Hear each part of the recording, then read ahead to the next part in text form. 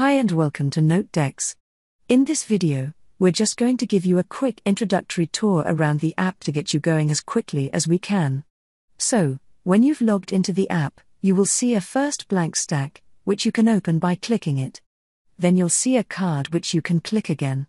Now you can start editing text if you'd like to, by just clicking your mouse in either the top area, which is the title area, or the next section below, which is the body of the text area. You can add in lots more text like this, and then you can use the text toolbar to do different formatting on the text. For instance, you can use these two icons to increase or decrease the font size up or down. Pretty cool, right? You can obviously do basic simple things like changing it to bold, or you can change the highlight colors, and you can change the font colors. You can even insert symbols, tables, hyperlinks, and more. Great. Let's keep going. This is the icon to flip the card to the back, if you want to add in text to the back of the card.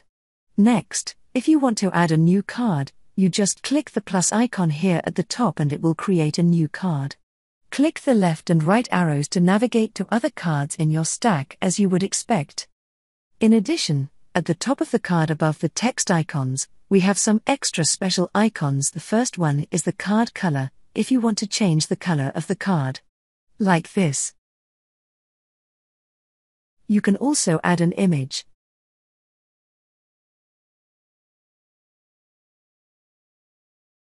And you can even add ink. This is the ink icon. And you can use your mouse or a stylus to add ink, like this. At the top of the menu here you have an option to change the actual size of the card on the screen.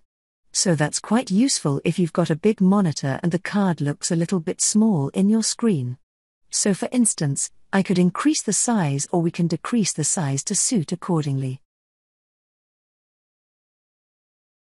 Great.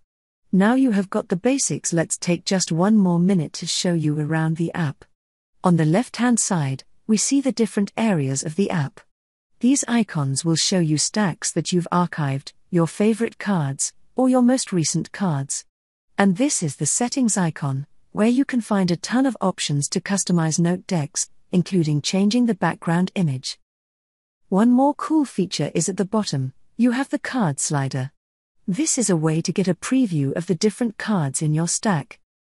Next, when you go back to the thumbnail view, you see card groups on the left hand side.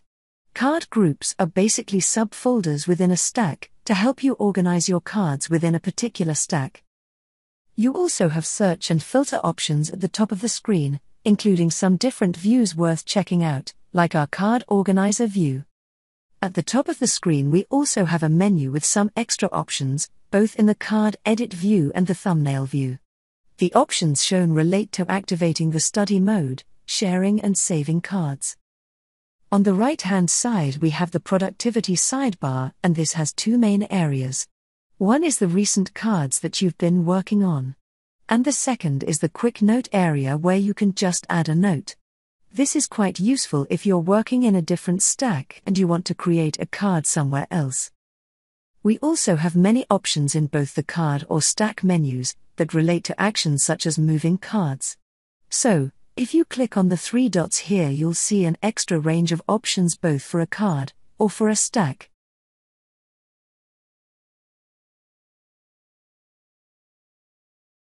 And finally, don't forget to try our chatbot assistant, Dex, who is ready to answer any questions you have.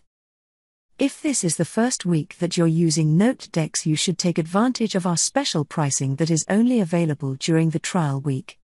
Thanks for trying NoteDex.